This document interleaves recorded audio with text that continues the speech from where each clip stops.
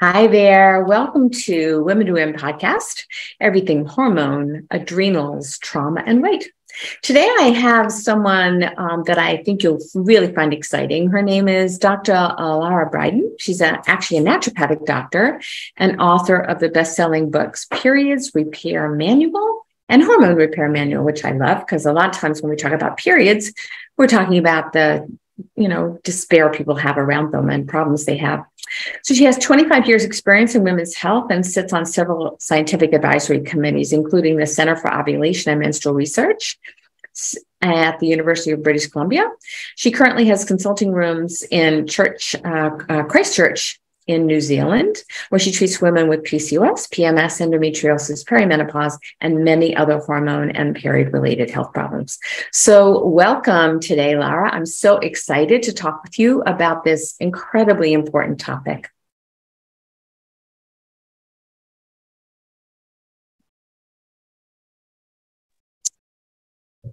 So, thank you so much for being with us today. And I would love to begin by having an interesting conversation about menstrual cycles and menses and periods and cramps, because very few really talk about it. And so many people have issues in regards to either lack of periods, too many periods, too much cramping, uh, diagnosis of PCOS or even endometriosis. So, let's dig into some of this. So, um, with regards to, let's just start with something very simple. You know, can your diet impact the quality of your periods and also how much cramping you have? Yes, 100%. In fact, one of my, I sometimes share this story, one of my favorite Amazon reviews that I ever got on my book, Period Repair Manual, was someone saying, Oh my goodness, I had no idea that what you eat can affect your periods. So which makes sense, right? Because our periods, one thing to say is they're not separate from the rest of our health. They're an expression of our health, which is why I refer to them as our monthly report card. So pain is that that's our first topic, I guess. Yeah. I mean, as period pain is common, but I would say it's not technically normal. I mean, it's, it's okay if to have a little bit of pain. We all have, and I certainly did back when I was still having periods. Um, back in the day. Back in the day. I do miss my period. I've been menopausal for about two years now. I do kind of miss my periods. But um uh yeah, but big picture through my lens anyway, as a naturopathic doctor, I, there's no reason that periods should be painful per se. They often are, but I think often with many of my patients with the right, you know, anti-inflammatory diet and reduced stress and you know pelvic floor. There's a lot going on with like, as you probably know, I'm sure you know, like pelvic floor and muscles and lots, lots going on in the pelvis. If all of that can be balanced and and then the period should just arrive. I love when my patients say, "Oh my oh my goodness, my period just arrived. I didn't didn't even feel it. Like I didn't have any PMS. It just came. I just flowed for, you know, 4 or 5 days and it was over." And that's really what it should be like. And of course, I do understand that some people have endometriosis or adenomyosis or other more serious things going on, but just sticking for the moment with someone who doesn't have those diseases or those conditions, just who just has run of the mill period pain that is caused by prostaglandins, sort of a, an immune compound, part of an inflammatory response. What I found, I'll give you my top tips and then maybe you share yours. We can compare notes. um, what I find, especially with young women, is my first go to is just obviously reduce junk food or get off junk food and take a zinc supplement because zinc there's actually at least one clinical trial about zinc for period pain and they find it reduces prostaglandins. They find it in this one study they found it works as well as the pill for period pain which is amazing. And then my other little tip is um, to change the kind of dairy that you have because a lot i read about this in my book and actually both books um, normal cow's dairy for some people not everyone but for some people can be quite inflammatory and for women that can manifest as heavier more faint more painful periods. So it's an easy thing for a young woman to try for a teenager to try you know get off normal dairy for a few months take a zinc supplement and then see where she lands and see how much pain is even left after all of that before looking at more complicated treatments. Mm-hmm.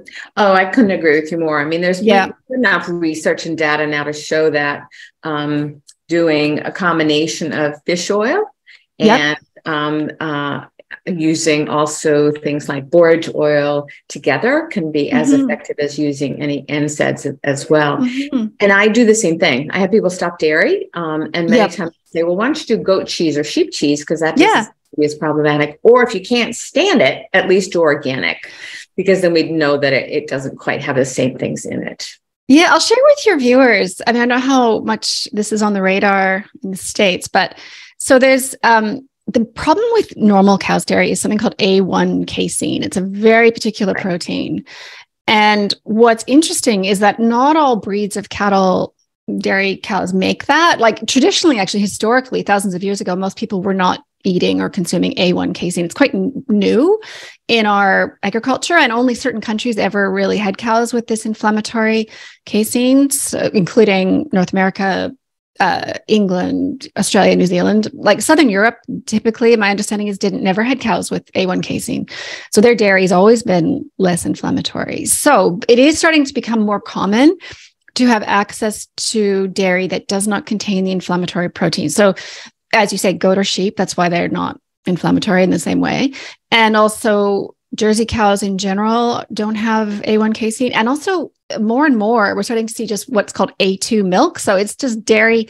There's still the Holstein cows, but they're not, um, they've been bred to not have that, uh, make that protein. So it's, it's becoming, dairy is becoming quite a better place, safer place. I mean, 25 years ago when I started practicing and I asked my patients to come off dairy, they were just like, what, what, what can I, how do I even, how do I even do that? And now especially where I am in New Zealand, I can say, oh, it's easy. Just choose the A2 dairy. So, yeah, yeah, absolutely.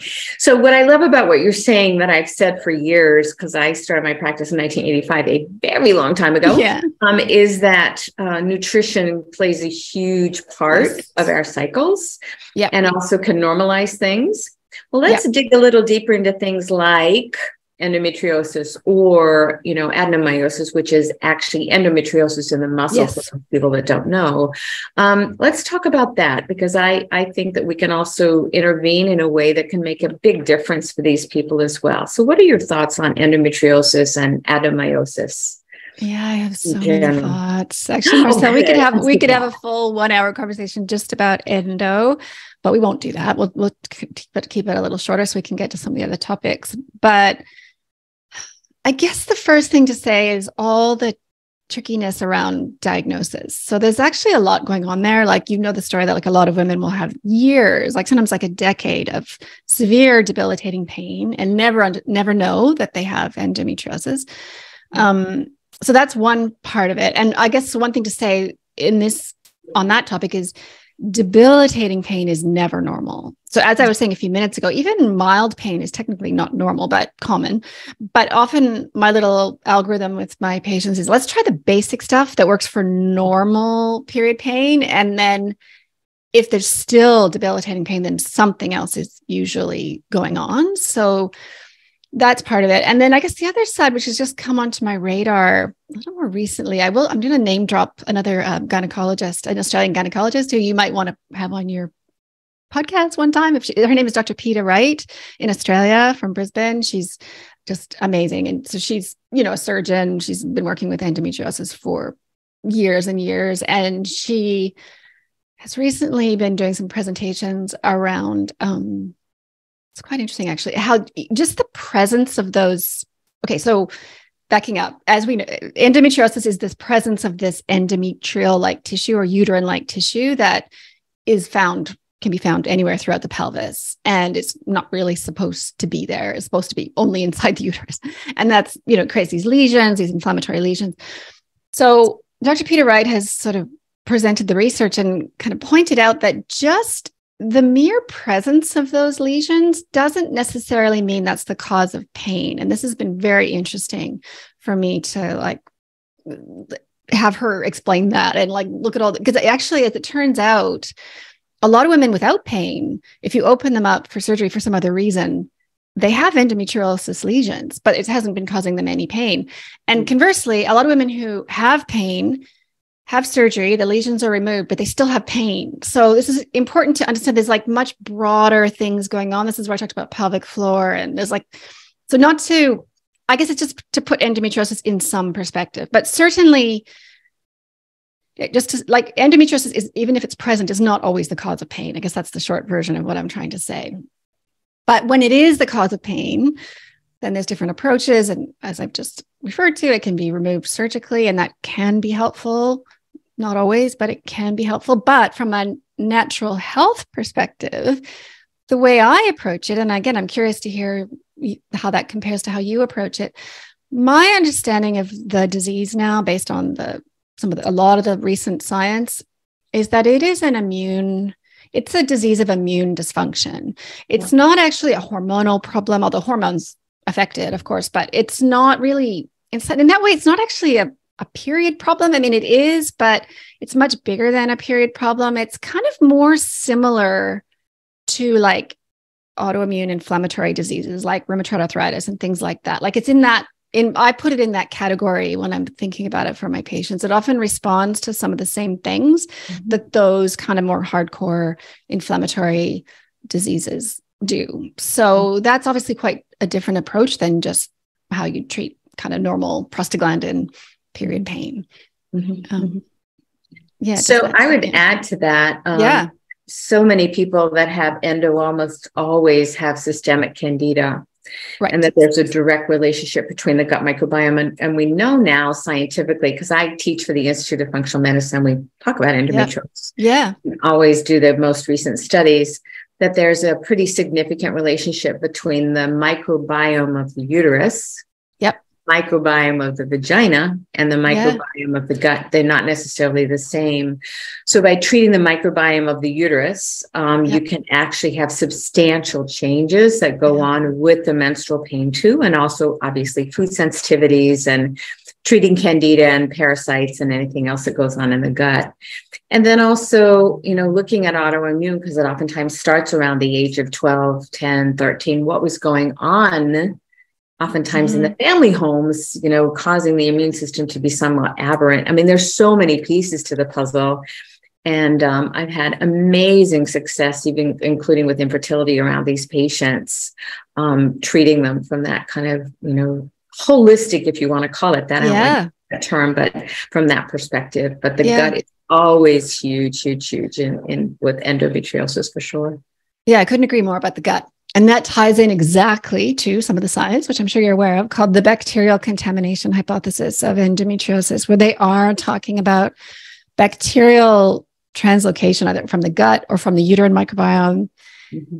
what are called gram negative bacteria, which are quite inflammatory coming into the pelvic cavity in women with endometriosis. And they found that to be true. And so this relates to candida a little bit too. This is any kind of intestinal, what's called dysbiosis or problems with the microbiome in the gut, in the uterus, exactly as you say.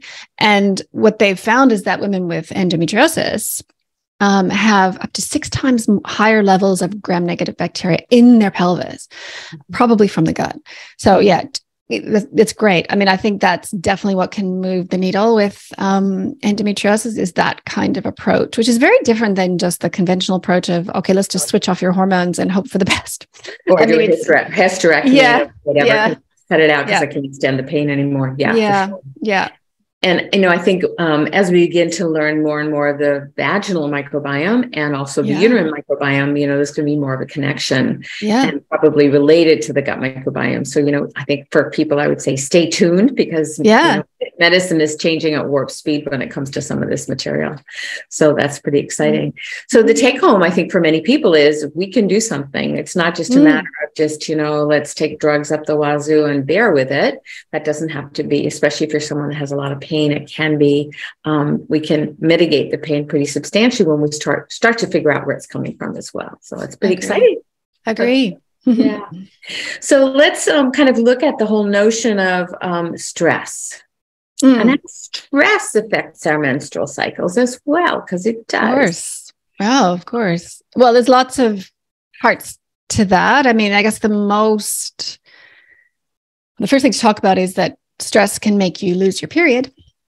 And um, as can under eating, there's similar mechanisms. So the I, I, always one of my messages in my work is the body is smart. It knows what to do when it's given the right in like information and support. Um, so losing your period to stress or under eating is a perfect example actually of it's not a malfunction. It's the part of your brain called the hypothalamus that's in charge of reproduction and other things. And it's perceiving, oh, wait, what? Like there's um there's like, you know, war or famine or something really bad is happening. And so it's not a good time to make a baby. So because the important thing to understand is having a healthy, regular, natural menstrual cycle it, from your body's perspective is about making a baby even if you don't want a baby like you know we, we people women say well i don't actually want a baby i just want a period well that does that's not how like your brain it, it's all about having a baby making a baby so it will if if you want your brain to conduct your hormonal system to have regular cycles then your brain needs to think needs to believe that everything is safe that there's enough food coming in that everything is well so that's one way that stress can affect periods and not just actually losing your period, but your period going all wobbly and weird, like becoming irregular. And um, then the other way that really, I mean, there's lots of ways stress can affect periods, but the, uh, one of the other ways is premenstrual mood symptoms. So there's a huge impact there. And there, it's not just the hypothalamus, it's actually the whole interaction between the nervous system generally, like the stress response system, including the adrenal glands and and adrenaline and everything, and um, and a hormone called prolactin, and like the, the whole stress system and the female hormonal system are as I'm sure you've talked about before on your podcast, are like inter- interlocked. So when we, with a natural menstrual cycle, we have to have the hormonal resilience to go through those ups and downs of progesterone, and they're going to go up and down. That's going to happen. So th- that's not the problem. Usually, it's the problem is that our our nervous system, our brain, if it's already stressed and not doesn't have a lot of bandwidth, it will you can really feel those premenstrual hormonal changes. So that's one another factor. And actually, I don't know about you, but I find treating premenstrual mood one of my absolute favorite things to treat because it responds so so, so it responds so well. You just give a few things, like you give some magnesium, you get women like moving their bodies, getting outside in the day, getting more sleep, maybe cutting alcohol or you know just sort of uh, giving the nervous system what it needs and then again that's that same story that i said earlier about women saying oh my god my period just arrived and i didn't even know i didn't get any headaches or anything like that. So yeah that in answer to your question about stress that's another yeah. Uh, way no absolutely. And you know one of the things i oftentimes did too is some add some progesterone depending upon yes. progesterone yeah.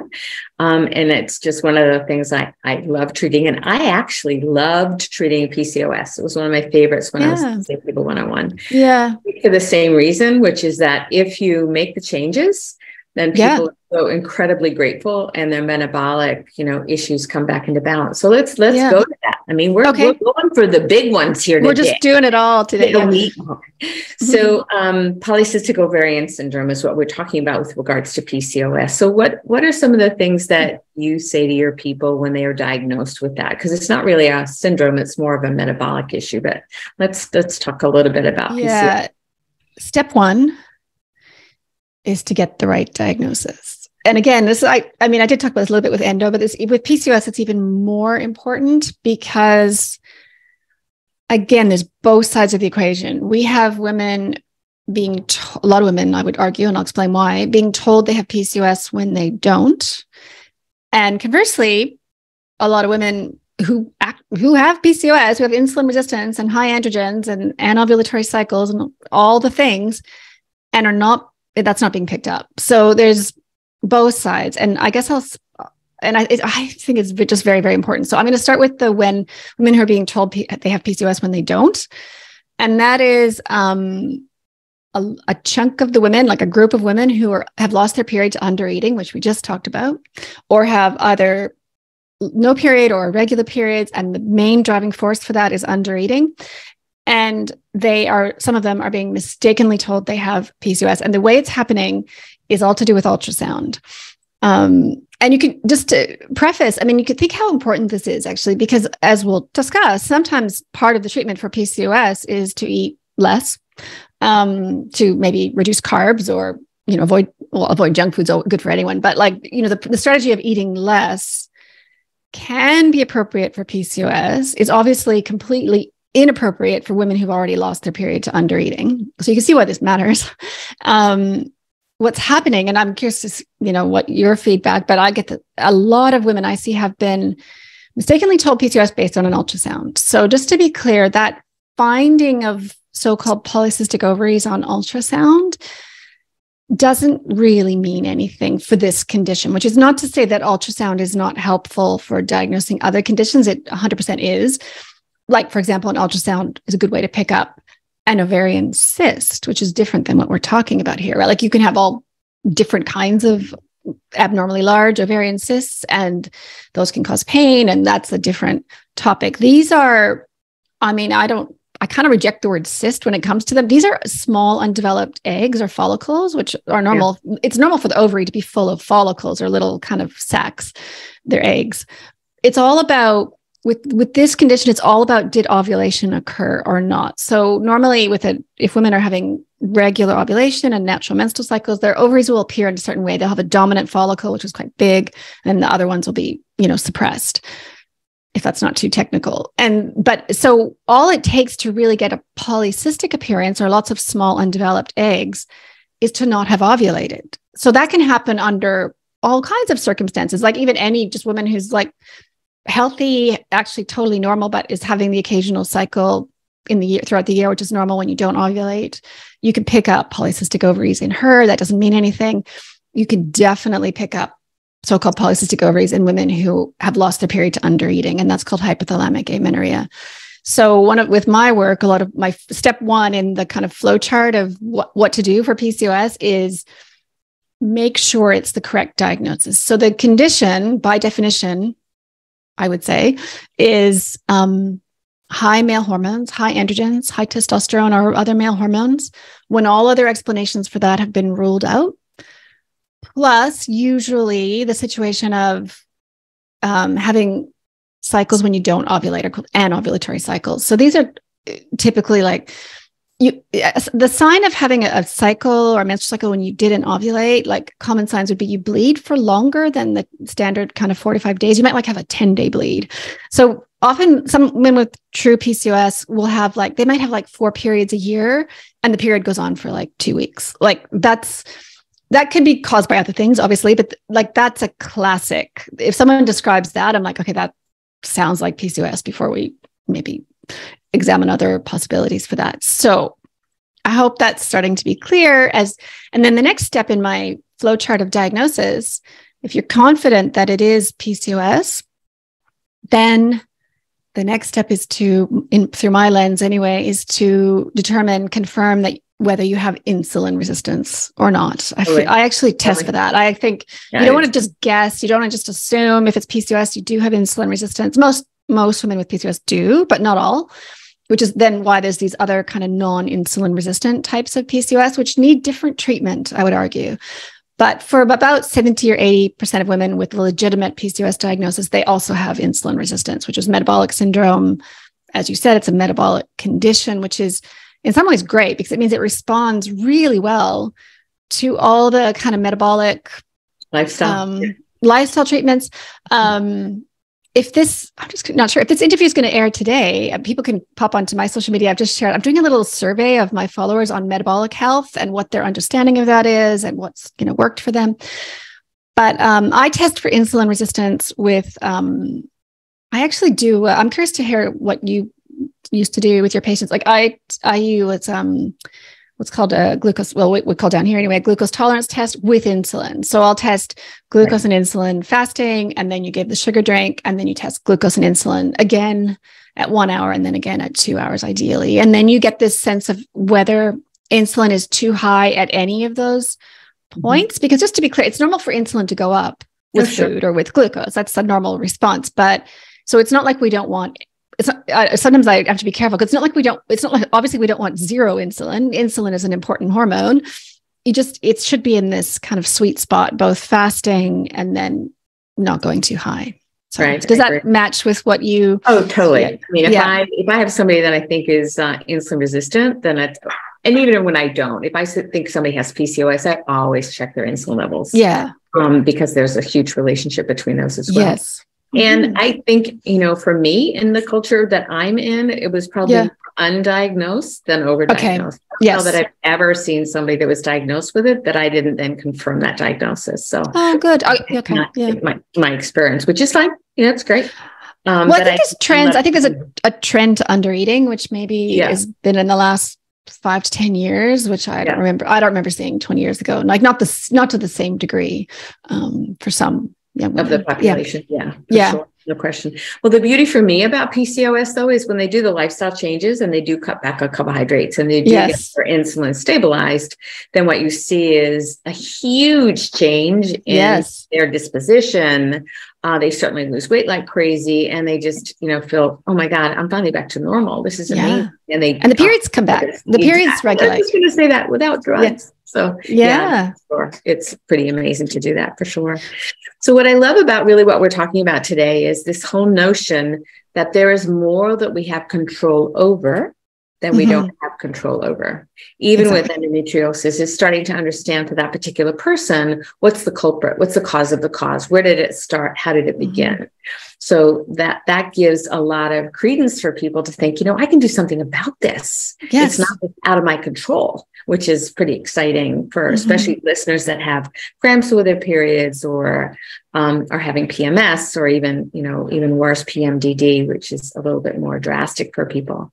Mm-hmm. So it's we're giving people hope, which is what we're hoping to be able to do. Is we just need to figure out for that person what is it that's going on and how do we direct them in terms of how do they feel much better. So it's yeah, exactly. Yeah. So, if people wanted to learn more about you and kind of follow you a little bit more, I know you're kind of far away for us, but part of the world that I grew up in and, and love, even though I don't have that accent. Um, yeah. I was delighted to hear you were Australian. Yeah, I know. By birth. By birth. Yeah. Well, I didn't yeah. come to America until I was 11, actually. And I spent much oh. of my, I grew up in Bundeena, which is outside of Cronulla and yeah. in the outback. I mean, we didn't have cars, we didn't have street lights, we didn't have, wow. anyway, it was a very different time. Outhouse, you know, the whole bit. Wow. Um, yes. Yeah. Um, well, I'm actually Canadian. You can hear. So I my accent. If, if, people are wondering, this this accent is Canadian. Uh, lived there till I was like 31. Then about almost 15 years, well, and whatever it adds up to 12 or so years in Australia, and then I've been eight years in um, New Zealand. So it's kind of a awesome. mixed accent. But I think the accent you have, like obviously the Canadian accent will never leave me. um, no. so yeah, I'm easy to find. So everything really is from my blog, which is larabriden.com. And there you can link to, I've got um, a community forum, I've got a podcast, I've got um, uh, my two books, Period Repair Manual and Hormone Repair Manual. And I'm working on my third book currently. And all my social media is at Lara Briden. So I'd love, yeah, people can ask me questions there. Right over. Awesome. Yeah. Well, thank you yeah. so much. I appreciate yes. it. And um, thank you for being my part of the world. Thanks for having me. Yeah. Okay. Have a great day.